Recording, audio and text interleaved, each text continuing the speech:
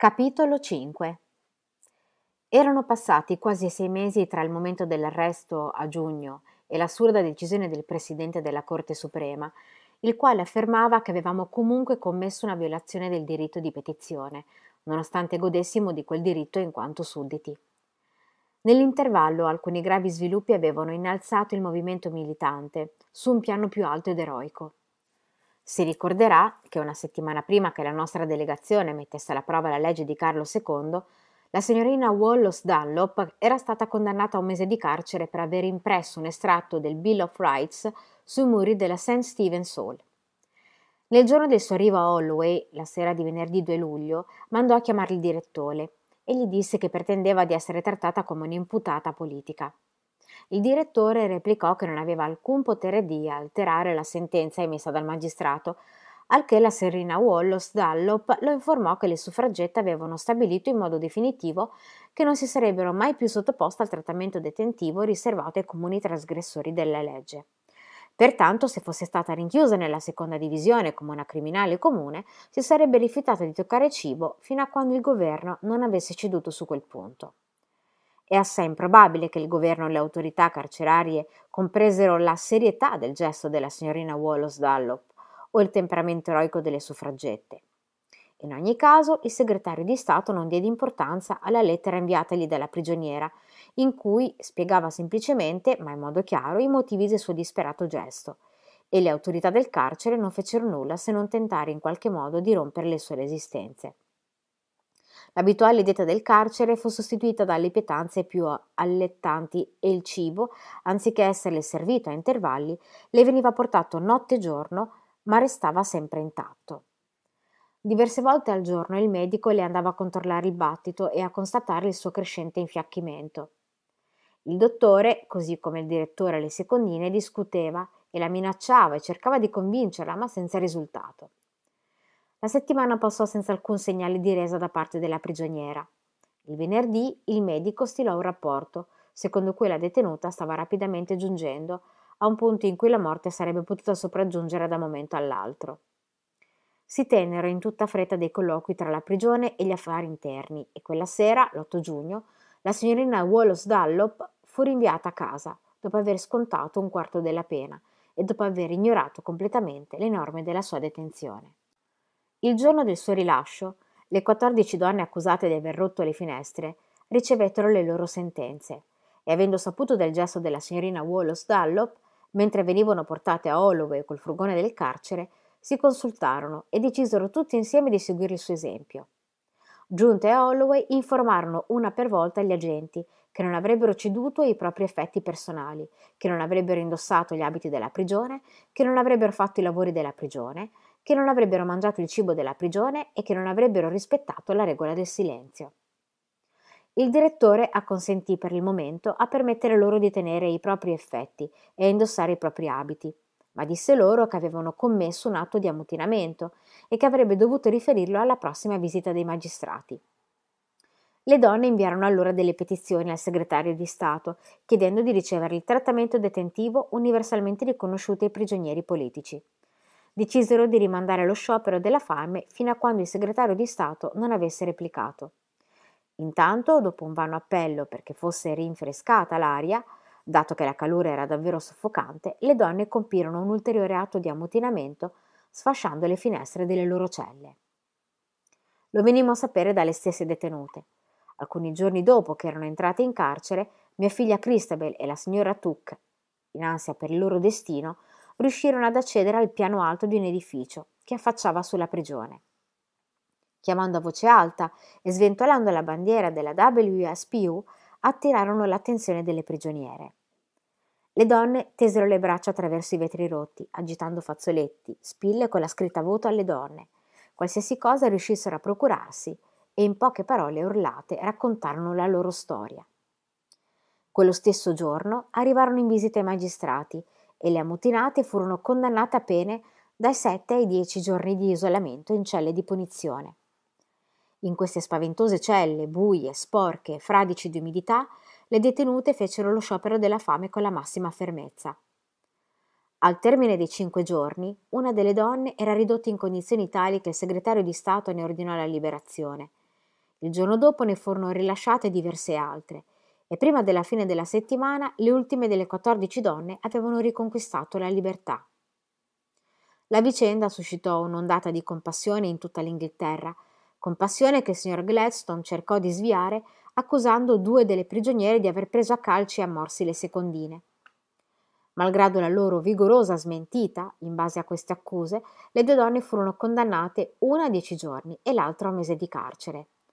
Sebbene fossero ancora deboli per il primo sciopero, attuarono subito un secondo sciopero della fame e nel giro di tre giorni dovettero essere rilasciate.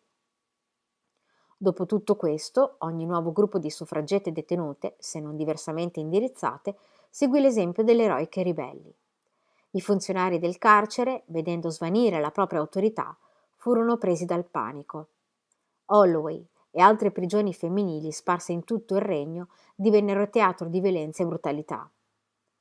Quello che segue è il racconto di Lucy Burns della propria esperienza.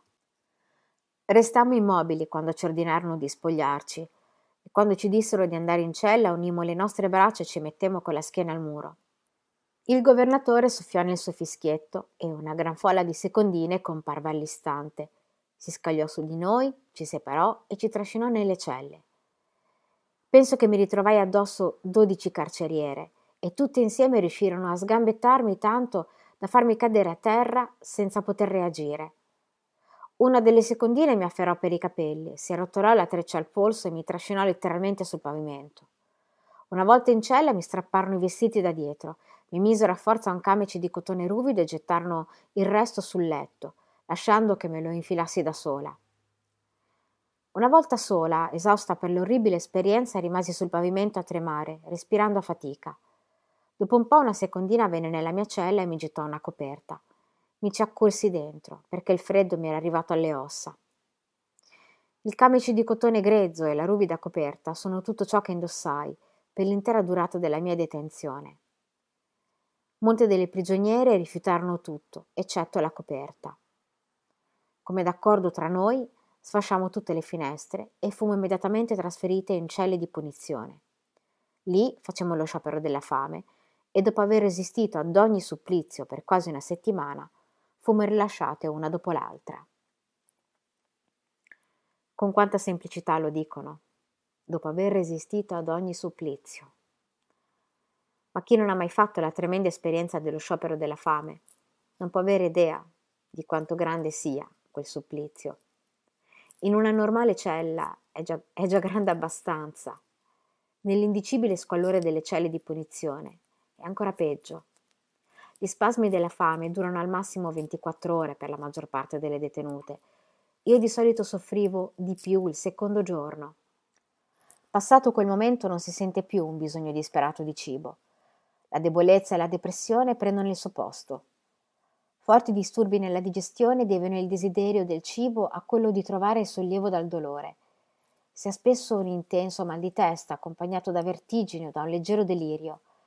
La totale spossatezza e un senso di isolamento della terra segnano la fase culminante del calvario. Spesso il recupero è lungo e il pieno ritorno alle normali condizioni di salute è talvolta lento in modo sconfortante. Il primo sciopero della fame fu attuato all'inizio di luglio. Nei due mesi che seguirono decine di donne adottarono la medesima forma di protesta contro un governo che non voleva riconoscere la natura politica dei loro reati. In alcuni casi le scioperanti furono trattate con una crudeltà senza precedenti. Fragili donne furono condannate non solo all'isolamento, ma a portare le manette per 24 ore alla volta. Una donna che si era rifiutata di indossare i vestiti della prigione fu chiusa in una camicia di forza. L'ironia di tutto questo appare ancora più evidente se si considera che in quello stesso periodo i leader del Partito Liberale alla Camera dei Comuni erano nel pieno della loro campagna contro il potere di veto dei Lord. Il 17 settembre si tenne una grande assemblea a Birmingham, occasione nella quale il signor Asquith si preparava a gettare la sua sfida ai Lord e ad annunciare che il loro diritto di veto stava per essere abolito, mantenendo sovrana la volontà del popolo in Inghilterra. Ovviamente le suffragette colsero questa opportunità per indire una manifestazione. Era un percorso perfettamente logico. Negato il diritto di petizione, ormai escluse da ogni riunione del Consiglio dei Ministri, le donne erano costrette a sfruttare qualsiasi mezzo a loro disposizione per portare la propria causa all'attenzione del governo. La signora Mary Late e un gruppo di associati di Birmingham avvertirono il pubblico di non partecipare all'assemblea di Esquite, perché si sarebbero verificati sicuramente degli scontri.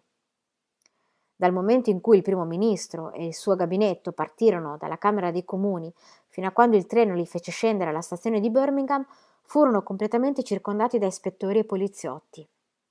Le precauzioni prese per proteggere Esquit non sono mai state eguagliate, se non nel caso dello zar allo scoppio della rivoluzione russa. Dalla stazione fu condotto attraverso un passaggio sotterraneo a 500 metri dal suo albergo, dove cenò da solo dopo essere stato portato in camera con un montacariche per i bagagli. Scortato alla Bingley Hall da un nutrito schieramento di polizia a cavallo, era talmente spaventato all'idea di incontrare le suffragette che entrò da una porta laterale. La sala era protetta come per un assedio.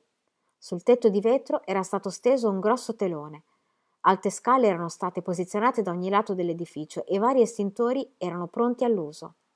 Non per spegnere il fuoco, ma per respingere le suffragette nel caso in cui fossero apparse da qualche punto inaccessibile sopra il tetto. Le strade erano barricate da ogni parte e la polizia a reggimenti era schierata per difendere i blocchi dalle cariche delle donne.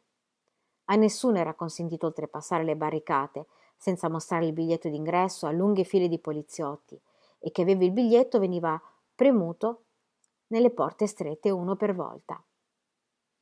Le loro precauzioni furono inutili, perché le tenaci suffragette trovarono più di un varco per trasformare il trionfo di Esquiti in un fiasco.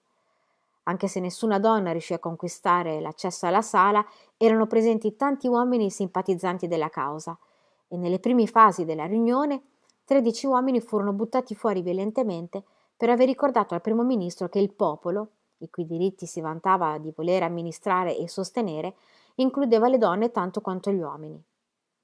Di fuori, mescolate alla vasta folla, bande di donne assaltarono le barricate. I blocchi più esterni vennero sfondati a dispetto delle migliaia di poliziotti schierati. La signora Leet e Charlotte Marsh strapparono decine di pezzi di ardesia dal tetto di una casa vicina e li lanciarono sul tetto della Bingley Hall e nelle strade sottostanti, stando comunque attenta a non colpire nessuno.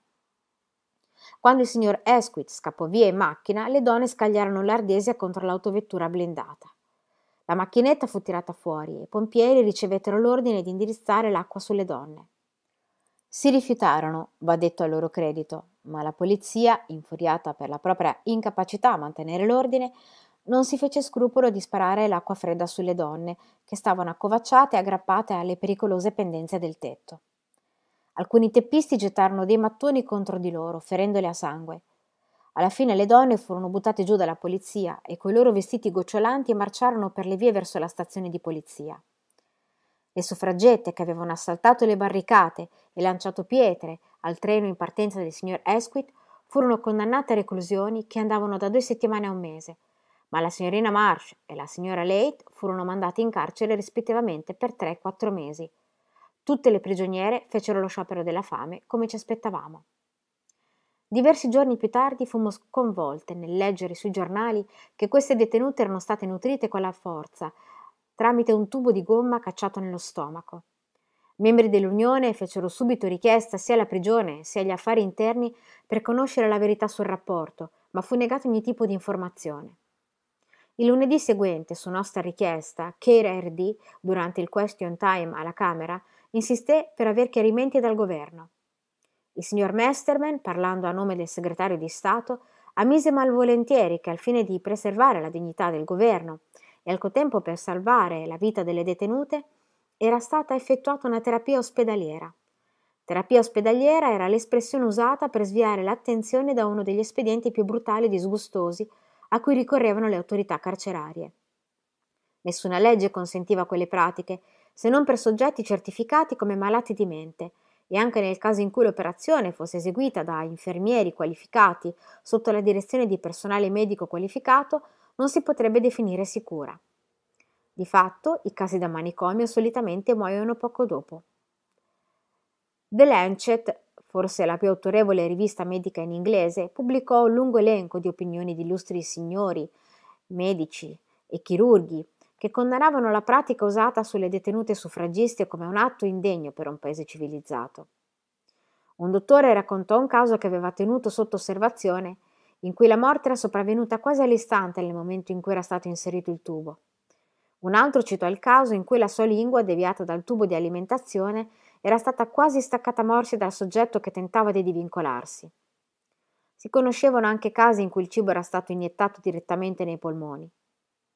Il signor Chimen Selmulin, dottore in medicina, Fellow of the Royal College of Surgeons, scrisse sul Times che in qualità di chirurgo d'ospedale, con più di 30 anni di esperienza, desiderava protestare con indignazione contro l'espressione del governo terapia ospedaliera usata in relazione all'alimentazione forzata delle donne.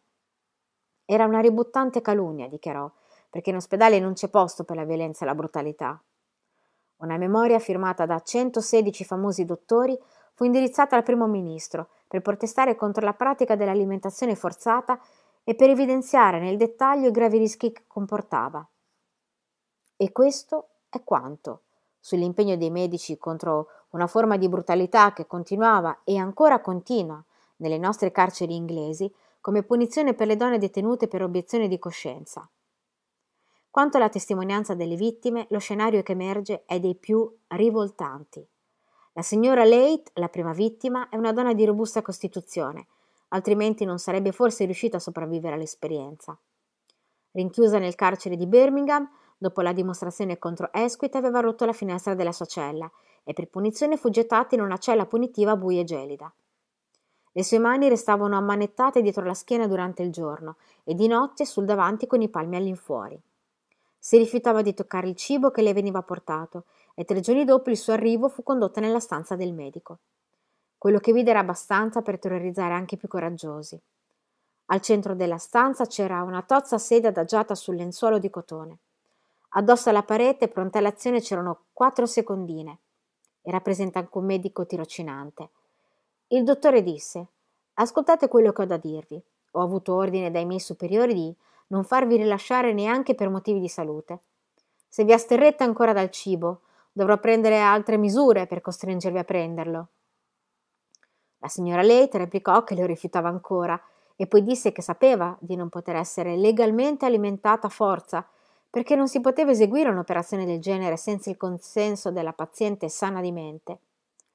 Il dottore ripeté che aveva ricevuto degli ordini e che li avrebbe eseguiti. Alcune carceriere si scagliarono contro la signora Lee, la immobilizzarono e inclinarono la sua sedia all'indietro.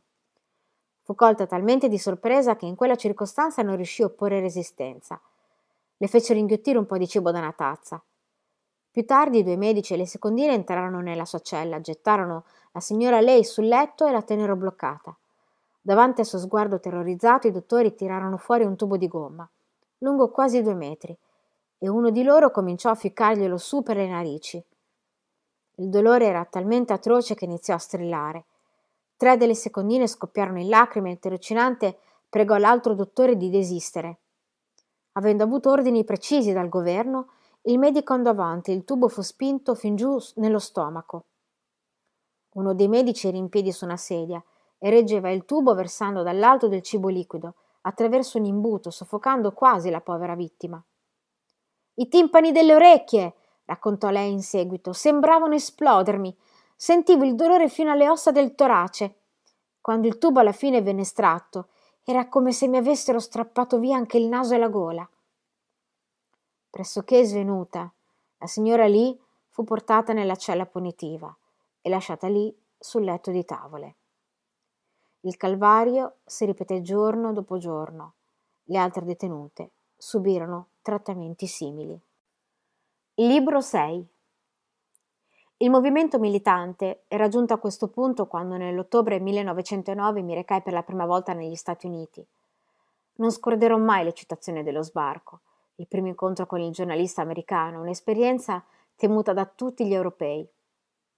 A dire il vero, i primi giorni sembrarono tutti uno sconcertante turbinio di giornalisti e ricevimenti, fino alla mia prima conferenza alla Carnegie Hall del 29 ottobre. La grande sala era completamente piena e un'enorme folla di gente era assiepata nelle strade per vari isolati. Con me sul palco c'erano diverse donne che avevo conosciuto in Europa e a presiedere c'era una vecchia amica, la signora Stanton Bletch, che da sposata aveva vissuto in Inghilterra.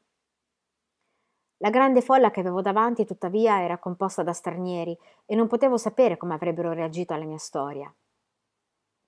Quando mi alzai per parlare calò un profondo silenzio, ma le mie prime parole, io sono quella che voi chiamate un hooligan, una teppista, uno scoppio di risate calorose e solidali fece tremare le pareti. A quel punto compresi di aver trovato degli amici in America. E ciò fu dimostrato da tutto il resto del mio tour. A Boston il comitato mi accolse con una grande automobile grigia decorata con i colori della WSPU e quella sera al Tremont Temple parlai davanti a 2500 persone, tutte molto generose e reattive. A Baltimora, professori e studenti della John Hopkins University fecero da servizio d'ordine all'assemblea. Mi trovai benissimo al Brian Moore College e al Rosemary Hall, uno splendido istituto femminile nel Connecticut. A Chicago conobbi tra tante persone di valore la signorina Jane Adams e la signora Ella Flagg Youth, sovrintendente scolastico.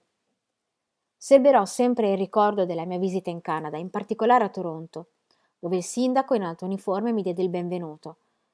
Incontrai anche il venerabile Goldwyn Smith, che sarebbe morto da lì a poco. Trovai ovunque americani cortesi ed entusiasti e posso dire solo bene della meravigliosa ospitalità che mi riservarono. Le donne che incontrai dimostravano tutte un grande interesse per lo stato sociale. Il lavoro dei circoli femminili mi colpì assai positivamente e pensai a queste associazioni come una base perfetta per un movimento suffragista. Ma al tempo, il 1909, il movimento suffragista negli Stati Uniti versava in un curioso stato di quiete. Molte donne con cui entrai in contatto sembravano pensare solo che avrebbero dovuto avere il diritto di voto, ma in poche lo sentivano effettivamente come un bisogno urgente. Alcune, è vero, stavano iniziando a mettere in connessione il voto con le riforme per cui si stavano adoperando con tanto altruismo e tanta devozione.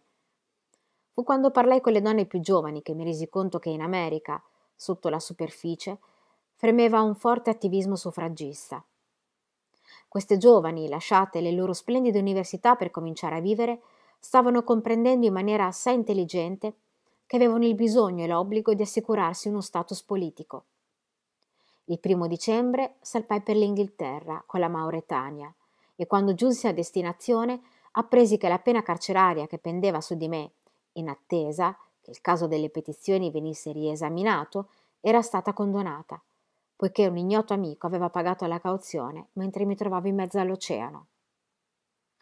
Il 1910 iniziò con un'elezione generale, anticipata per via della bocciatura da parte della Camera dei Lord del bilancio pubblico del 1909 opera di Lloyd George. Il Partito Liberale girò per il paese promettendo nuove tasse sui valori fondiari. Promise anche l'abolizione del potere di veto dei lord, l'home rule irlandese, la delegittimazione della Chiesa del Galles e altre riforme. Il suffragio femminile non fu promesso direttamente, ma il signor Esquith si impegnò, se avesse mantenuto la carica, a presentare un progetto di riforma elettorale che poteva essere emendato per includere il suffragio femminile. Gli unionisti, sotto la leadership di Belfort, avevano in programma una riforma delle tariffe doganali e non fecero neppure una vaga promessa di una possibile misura a favore del suffragio femminile.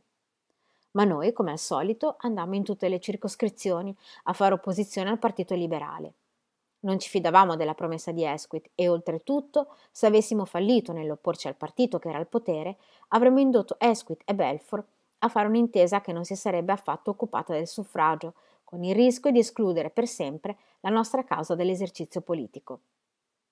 Eravamo per certi versi nella stessa posizione dei nazionalisti irlandesi del 1885, quando né i leader liberali né quelli conservatori volevano includere l'home rule nei loro programmi. Gli irlandesi fecero opposizione al Partito Liberale, con il risultato che il governo liberale fu rieletto con una maggioranza talmente risicata che dipendeva dal voto degli irlandesi in Parlamento per rimanere in carica. Per questo motivo fu obbligato a presentare l'Home Rule Bill. Le altre associazioni suffragiste e le donne liberali ci pregarono di non fare opposizione al Partito Liberale per queste elezioni.